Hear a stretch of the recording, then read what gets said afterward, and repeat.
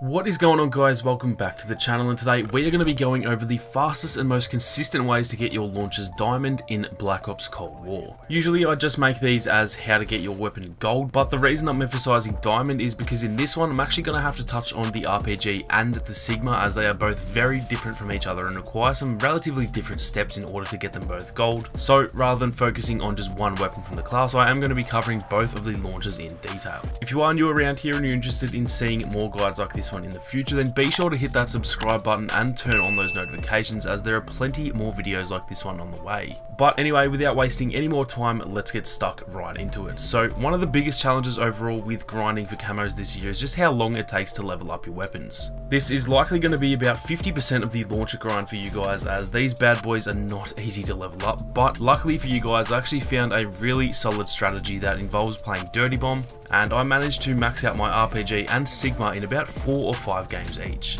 Now I've got a whole separate video on that if you guys do want to check that out. I'm not going to be that guy who forces everyone to watch a whole extra video for the views and so simply put, you just need to drop into Dirty Bomb, land on people when you're parachuting in and then melee them to death as that will help you level up much much faster. So now you know the trick, you don't need to watch the video but in saying that if you do want to see it a little bit more in depth then I will leave a link up in the top right for you guys to check that one out. Now anyway, getting into the camos, starting off with the sprays, these are essentially not even necessary to focus on because to actually max out the weapons and get the final camos unlocked, you are actually going to need more kills for the final camos than you do to get these ones, so you will just get these ones done without even having to think.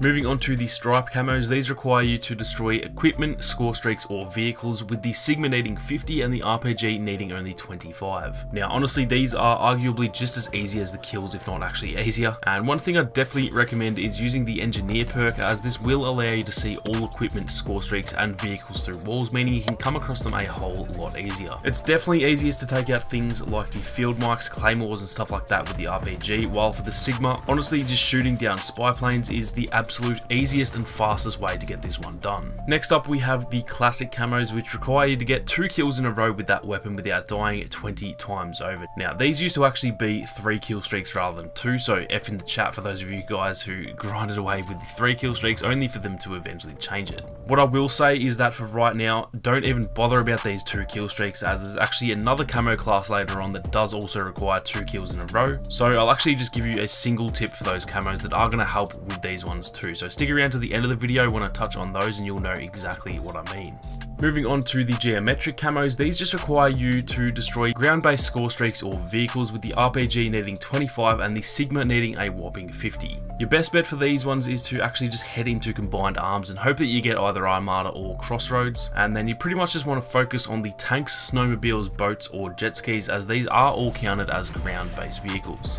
RCXDs and sentry turrets do also count as well, but they are both a little bit less common and also somewhat harder to kill. So if you come across any of those in regular multiplayer, then definitely take them out if you can. And a tip for that is that with the sentry turrets, if you hit them directly, it'll take you two hits. However, for some reason with splash damage, it is an instant kill, which doesn't really make sense. So with the RPG, just fire at the ground near them. And for the Cigma, instead of actually locking onto them, you do also just want to shoot at the ground without locking on as that will kill them faster. These ones are a little bit tedious to get done honestly, but they're not by any means hard, so just stick at it and you will eventually get them done.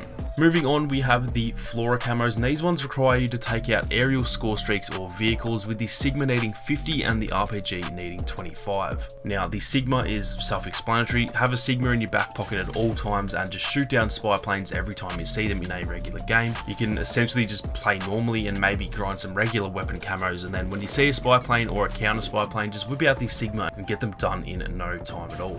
For the RPGs, however, well, where do I start? These things suck ass at taking out aerial kill streaks. One, because they don't have a lock on, and two, because they seem to just have a mind of their own.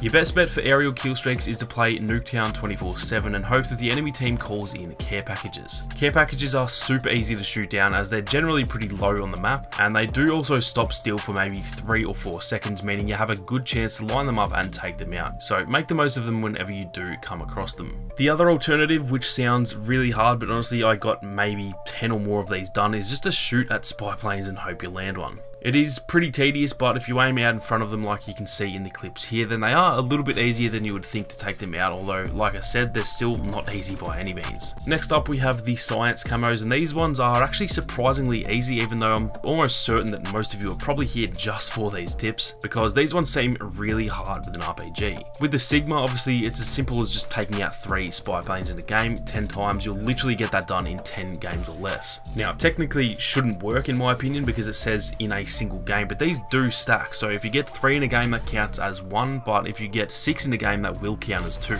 So I'm not sure if that's actually meant to happen, but it absolutely does work. So do your best to take out as many as you can every game. Now, with the RPG, this does seem super daunting. It's hard enough to get one spy plane or a care package or maybe even one sentry turret, but I'm about to absolutely blow your mind. If you kill two score streaks or vehicles with the Cigma, but then get the third one with the RPG for whatever reason, that will count towards these camos. So what I did was I jumped into some Raid 24-7 or Nuketown 24-7. I had one class with a Cigma and one class with an RPG and then I was just getting some camos for a few of my assault rifles. When I did hear a spy plane being called in, as usually once someone gets one there's about two or three other players who are going to get one around the same time. I would then switch to my Cigma class, take out two as fast as I possibly could, then I would switch back to my RPG class, play the game normally again just going for regular assault rifle or SMG camos, and when the next score streak got called in, I would take it out with the RPG. Now, this can still be kind of hard because you might just keep missing shots with the RPG, and that's obviously a pain in the ass, but the faster you get those first two, the longer you'll have in that game to try and get that one more with the RPG. So these are actually much easier to get than you would think.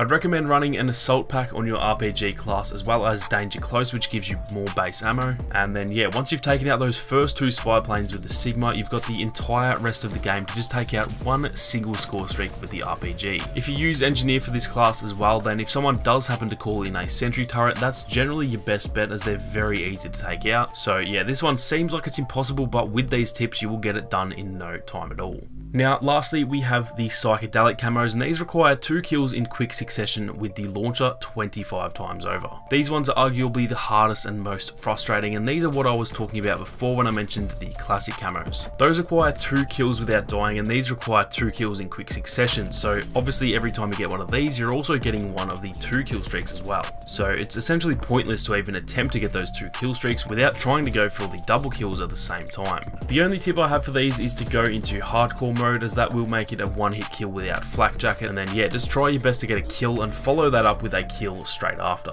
On Nuketown, it is pretty easy to get these once you have found a little bit of an easier lobby. These will get very frustrating, guys, but trust me, when you get shot on for long enough, the game will eventually help you out with some easier lobbies, and once you get them, these do come pretty quickly. Melee kills do also count, remember, so if you can get on Nuketown domination, get into the other team's house, and then melee them to death in quick succession, that is probably the best way to avoid anyone having flak jackets, so try for that whenever possible, but firing them normally is a solid strategy as well, especially if you can get direct hits. Obviously, once you unlock all of those camos, then gold will be unlocked for both weapons, and therefore diamond will be unlocked as well. These two are without a doubt the absolute hardest and most frustrating weapons to get diamond in Cold War, guys. Trust me on this, you will get frustrated, you will want to give up and just play the game normally, and it will take you quite a few hours. But if you follow this video, then you should be able to get them done much faster than you probably think, and once these are done, the rest of the camos in the game are going to feel a whole lot easier. That is going to do it for this one though, guys. If you enjoyed the video, then be sure to leave a like down below. And if you are new, then consider subscribing to the channel with those notifications on.